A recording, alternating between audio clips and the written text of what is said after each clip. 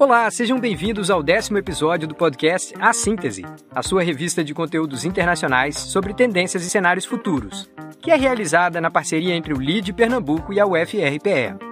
Eu sou Luiz Maia e você já sabe, toda semana a gente prepara uma síntese dos assuntos que podem nos dar mais e melhores perspectivas.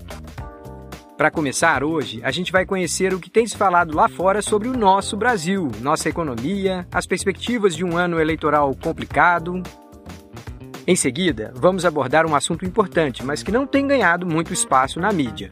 É esse protagonismo maior de Supremas Cortes de Justiça, observado simultaneamente em muitos lugares. E para terminar, a gente vai em busca de informações sobre quais seriam os verdadeiros riscos de uma eventual pandemia da tal varíola dos macacos, ou monkeypox, como é chamada internacionalmente essa moléstia. Bora começar? Vamos embora!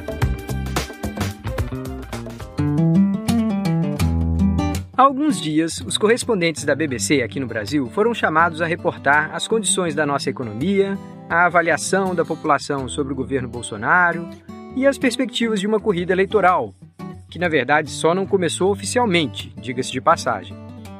Gravando para o podcast Business Daily, eles conversaram com apoiadores dos principais pré-candidatos e ouviram avaliações completamente distintas, claro, revelando bem o grau de polarização do nosso eleitorado. Mas depois eles passaram a falar com economistas e analistas de diferentes correntes e escutaram que o país deve ter bastante dificuldade para reduzir a inflação esse ano, mesmo com o Banco Central tendo elevado muito os juros. Ficou claro também que os nossos quadros social e fiscal seguem preocupantes, e não apenas por causa dos números atuais, mas principalmente pelos sinais emitidos por uma série de medidas populistas aprovadas quase por consenso no parlamento em pleno ano eleitoral. E eles terminaram por falar da nossa relutância, histórica e mundialmente conhecida, em reformar o que pode ser considerado o pior sistema tributário do planeta. Assim, quem acha que existe uma campanha difamatória sobre o Brasil lá fora, com certeza não conhece ainda o Business Daily, um podcast que é campeão de aparições aqui na nossa síntese.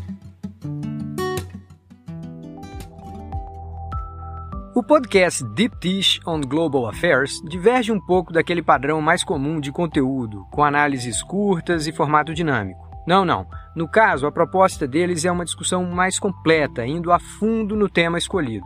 Na semana passada, eles se debruçaram sobre o que seria uma espécie de novo padrão de atuação de Supremas Cortes em diferentes países. É claro que, de partida, eles citaram a Suprema Corte Americana, que vem atuando em questões como o controle de armas, o ensino de religião nas escolas e, mais recentemente, a regulação do aborto. Mas logo depois, eles chamaram para conversa dois especialistas em estudos comparativos internacionais sobre constituições e sistemas judiciários. E eles fizeram um belo trabalho de resgate do verdadeiro sentido de se definir essas cortes mais elevadas, qual seja proteger a democracia de ações inconstitucionais, sejam elas provenientes do Poder Executivo ou do Poder Legislativo. Eles discutiram ainda dois papéis muito especiais dessas cortes.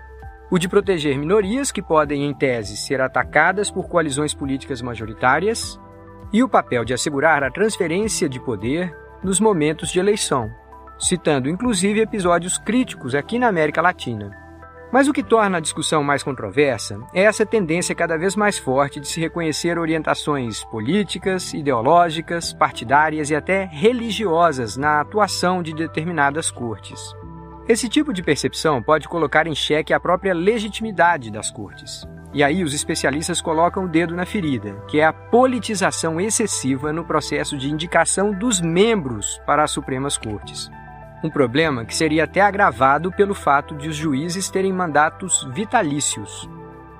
O duro é que as possíveis soluções para esse problema são elas mesmas bastante polêmicas, como seria o caso da introdução de requisitos técnicos para o processo de indicação. Por fim, fica claro que não existe regra, estrutura ou mesmo instituição que seja completamente imune a comportamentos oportunistas de lideranças mal intencionadas. Daí talvez o problema devesse ser enfrentado nessa etapa anterior, ou seja, na maneira como elegemos pessoas e grupos que acabam desconfiando e até se mostrando dispostas a tentar capturar instituições que deveriam ser independentes, como um Banco Central, uma Suprema Corte, uma diretoria de agência reguladora.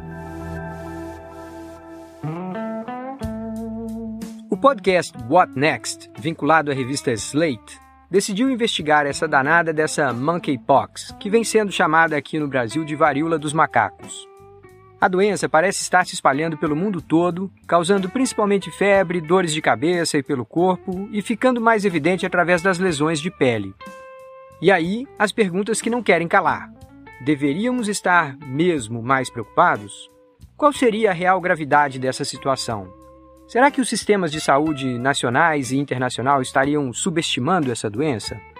Bom, a matéria começa com um cidadão americano que foi infectado e ele descreve como que acabou tendo que ir descobrindo ele mesmo os caminhos para lidar com a doença no dia a dia.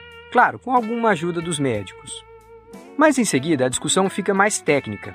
A gente descobre que já são mais de 8 mil casos relatados no mundo todo, 760 só nos Estados Unidos, Descobre que a doença é endêmica em alguns países africanos, onde o vírus acaba infectando populações humanas e de roedores, apesar de o nome fazer referência somente aos primatas. E descobre ainda que a infecção vem ocorrendo pelo contato físico entre as pessoas, principalmente. Ok, mas quais seriam então as principais razões para estarmos preocupados ou, por outro lado, para não estarmos tão preocupados? Bom, em primeiro lugar, entre os fatores para não nos preocuparmos demais o principal é que os casos de morte são extremamente raros. Teriam sido três pessoas até aqui, desde o início desse surto. Outro ponto positivo é que já existe um tipo específico de vacina para varíola que foi aprovada também para imunização contra a tal monkeypox. Por outro lado, seria preocupante se a doença se tornasse endêmica em muitos países, saltando de populações humanas para populações animais e criando condições para que variantes mais graves da doença eventualmente apareçam em algum momento. Mas o que realmente pode tirar o sono de muita gente tem a ver com o fato de que esse surto poderia ter sido evitado. Afinal, a doença já é conhecida há muitos anos, há testes e tratamentos aprovados. Enfim, nossos sistemas de saúde parecem seguir despreparados para as chamadas doenças emergentes ou reemergentes, Será que essa ficha vai demorar quanto tempo mais para cair? Você acaba de ouvir o podcast A Síntese, uma iniciativa do LID Pernambuco em parceria com a UFRPE, através do seu Núcleo Econômico Integrado. Todos os podcasts de que falamos aqui estão na nossa playlist lá no Spotify, para quem quiser conhecê-los. Vale lembrar que a Síntese é uma iniciativa voltada a promover o diálogo e a reflexão, com base em traduções livres de conteúdos originais em língua estrangeira. Sendo assim, nossas interpretações podem conter pequenas imprecisões aqui e ali e não devem ser consideradas recomendações de investimento. Fique ligado e compartilhe!